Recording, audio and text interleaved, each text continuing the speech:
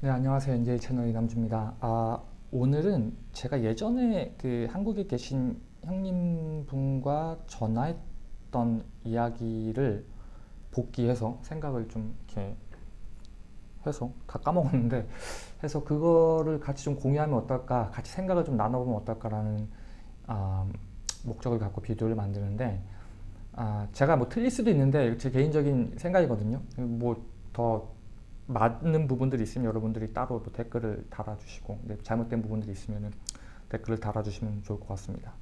자, 그 주제가 뭐냐면 이런 거였어요. 요즘 그 5G, 5G 해가지고 뭐 건축 산업 어, 어떻게 변할 것인가, 뭐 이렇게 이런 타픽들 국가 그 사업도 많이 나오고 5G랑 뭐 VR 관련돼 가지고 뭐 여러 가지 그들이 이제 아무래도 국책 사업이다 보니까 돈이 많이 있죠. 그것들을 이제 가져와서 이제 프로젝트를 하거나 하시는 형들이 많이 계시는데 그거에 관련된 이야기를 좀 했어요. 그래서 그 관련돼 가지고 뭐 글 같은 것들 제가 좀 리뷰도 좀 해드리고 같이 이야기 나눠보고 이제 어떻게 보면 이제 그 테크니컬한 부분을 조금 설명을 드렸는데 뭐 이런 거예요. 사실 5G가 그 과연 건축 스마트 시티라든지 뭐 아, 아니면 뭐 VR 뭐 관련돼 가지고 아, 과연 어떤 이득이 있냐. 근데 저는 약간 그 부분에 대해서는 좀 오해 소지가 많지 않나라는 생각을 해요. 예. 무슨 얘기냐면은 일단 5G가 뭔지를 알아야 되잖아요. 근데 제가 알고 있는 5G 같은 경우는 첫 번째는 가장 중요한 거죠. latency. 그러니까 latency가 굉장히 이제 줄어들었다는 거죠. 그러니까 뭐냐면은 내가 여기서 어떤 신호를 딱 보냈을 때 아, 지구 반대편에서 받아볼 수 있는 신호 아니면 뭐 IoT 있죠. IoT 기기들이라든지 아니면 자동차들이 쭉 달려나갈 때 서로 물론 이제 자율주행 같은 경우에 computer vision이라든지 그런 거에 의존을 하긴 하지만 각각의 차선에 있는 자동차들끼리도 서로 정보를 교환하거든요. 그럴 때 정보 교환하고 process하고 이럴 때 만약에 1초 걸린다고 치자고 1초 자동차가 시속 100km로 달렸을 경우에 1초의 latency가 걸리면 거의 뭐 useless하죠. 쓸, 쓸모가 없는 거죠. 예. 그렇기 때문에 latency가 빠르다는 거는 그만큼 적다는 거는 굉장히 중요하겠죠. 그런 자, 뭐 자율주행 같은 경우 게임도 마찬가지겠죠. 게임.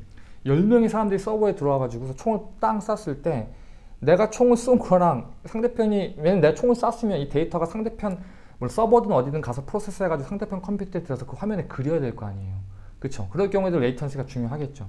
그래서 이런 관점에서 봤을 경우에는 5G가 되게 유용하겠죠. 왜냐면 latency를 현격하게 줄였으니까. 그게 어떤 특정 tolerance 이하까지 줄었다고 하는 것 같은데 잘 모르겠어요. 어쨌든 4G에 비해서 latency가 적다. 두 번째, 당연하겠지만 더 많은 데이터를 한 번에 쏠 수가 있다.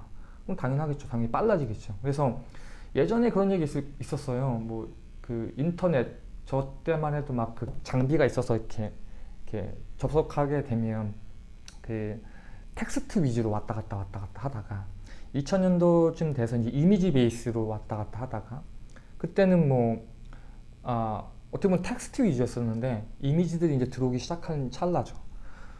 그러면서 이제 동영상, 그죠? 요즘 다 유튜브라든지 동영상 base잖아요. 그만큼 대역폭이 커진 거죠. 데이터를 많이 빨리 쏴주는 거니까. 그리고 이제 5G가 되면 그보다 더 많은 데이터를 쓸 수 있으니까 과연 뭐 VR 같은 것도 되지 않을까라는 생각을 하는 거죠. 제 개인적인 생각으로 봤을 경우에 모르겠어요. 이게 더 기술이 나가고 뭐 smart city처럼 좀 더 되게 comprehensive하게 데이터들을 조합시키고 이것들을 해야 된다면 무조건 5G가 좋겠죠. 근데 일반적으로 봤을 때 과연 5G가 과연 건축 쪽에서 어떤 이 두 가지 에스펙트를 봤을 경우에 전송적인 부분들, 데이터들, 그 다음에 레이턴시 부분들 과연 이게 5G니까 되냐, 5G니까 된다 아니면 뭐 4G에서는 안 됐다. 과연 이런 게 존재할까라는 생각에는 글쎄요 어떻게든 뭐 약을 팔아가지고 이를 따오는 관점에서 봤을 때는 뭐 맥센스해 보이지만 정말 technical한 부분에서는 과연 이게 어느 정도 효율성이 있는지는 잘 모르겠어요. 저도 그쪽 관련된 엔지니어링 부분을 하지 않아가지고 잘 모르겠는데 물론 뭐 있겠죠. 근데 이제 특별히 이제 그형 같은 경우는 이제 그 건축 그 VR, 그러니까 결국에는 내가 설계를 하고 이 설계된 것들을 서로 share하고 막 이런 부분들에 대해서 이제 이야기를 좀 나눴었는데 이것도 한번 곰곰이 생각을 해보자고요. 우리 갖고 있는 technology가 어떻게 도는지. 제가 생각했을 때는 대부분의 이제 graphics 쪽은 다 거의 front-end로 돌거든요. 물론 이제 back-end에서 compute 해가지고 이제 front-end 넘겨줘갖고 하는 뭐 그런 기술들도 있는데 일반적으로 우리가 그런 건축에서 커링 엣지 테크놀로지를 갖고 갖고 뭔가 하진 않으니까 일단 그 기술이 어떤 안정화 단계에 들어가야 될 거 아니에요. 그러면 일반적으로 흔히들 이야기하는 뭐 Unity라든지 아니면 뭐, 뭐 WebGL이라든지 이런 것들 보면은 일반적으로 다 client side에서 돌거든요. 그러니까 client side가 뭐냐면은 내가 모바일을 보죠. 그러면 모바일 안에 있는 GPU로 그 계산을 한다는 거예요. CPU, GPU로. 그럼 일단 데이터를 가져와야 돼. 데이터를 가져와가지고 어쨌든 그 안에서 돌린다는 거죠. 그러면은 물론 이런 게 있을 수 있겠죠. 뭐 100메가짜리 데이터를 받아와서 거기서 렌더링을 건다던가 뭐 200메가짜리 데이터를 가져와서 거기서 렌더링을 건다던가 이런 차이는 있을 수 있겠죠. 근데 그게 막 그 생사를 다투진 않는 거라는 거죠. 뭐 자동차처럼 0.5초 늦어졌을 때 사고가 날 수 있는 것 같은 건 아니잖아요. 다만 0.001초 좀 더 기다리면 데이터가 다 전송돼서 어쨌든 기계 안에 돌아가는 거니까. 그래서 제가 생각했을 때는 과연 5G가 건축 그 이슈에 맞춰 가지고 뭐, 뭐 스마트홈을 컨트롤 한다던가 스마트홈도 마찬가지겠죠. 뭐, 뭐 latency가 0.001초 100ms가 늦어진다고 해가지고 뭐 크게 달라지는 건 없잖아요. 그죠? 아니면 무슨 뭐 드론으로 뭘 촬영을 하거나 아니면 뭐 실시간으로 어떤 데이터들을 갖고 와서 시간을 막 분초를 다투는 되게 synchronize가 잘 돼야 되는 real time으로 그런 건 사실 없다고 보거든요.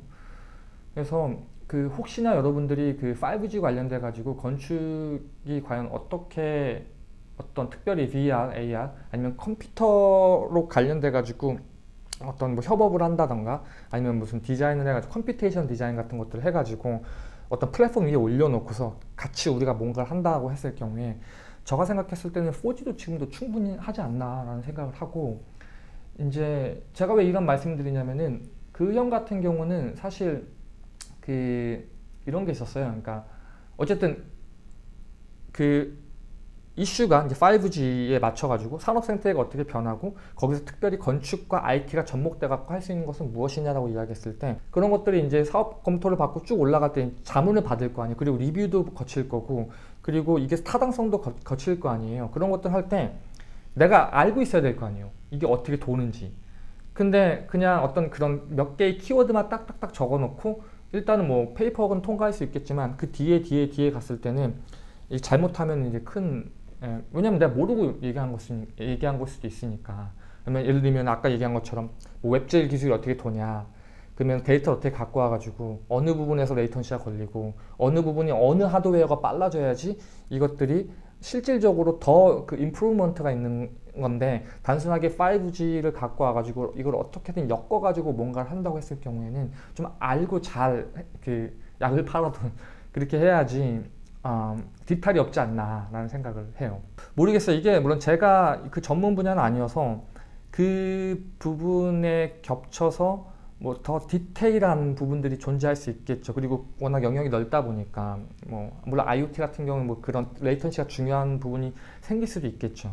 그 부분에서는 물론 뭐 민감하게 작용할 수 있을 것 같은데 물론 4G에서도 충분히 커버가 가능하지 않나라는 생각을 하는 거죠.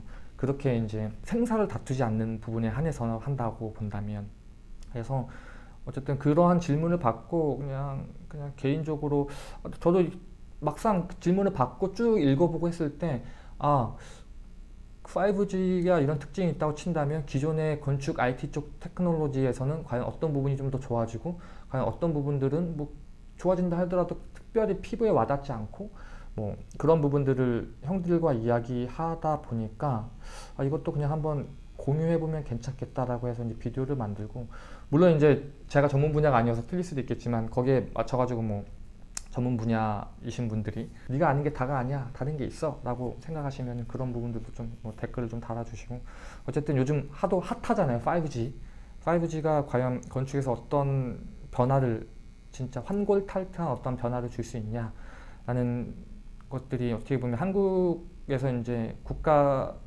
정책 사업에서도 많이 연결이 돼 있는 것 같고 해가지고 그 관련돼 가지고 여러 가지 사업들이 나오고 그거에서 어떤 많은 프로포즈들이 있는 것 같아요. 형들이랑 이야기를 하다 보니까 그 와중에 저도 많이 배웠는데 어쨌든 아, 저희 개인적인 짧은 생각을 그 형과 이제 질문을 같이 답변을 아, 주고받는 과정에서 아, 같이 공유하면 어떨까라고 생각해가지고 짧게 한번 비디오를 만들어 봅니다. 네, 감사합니다.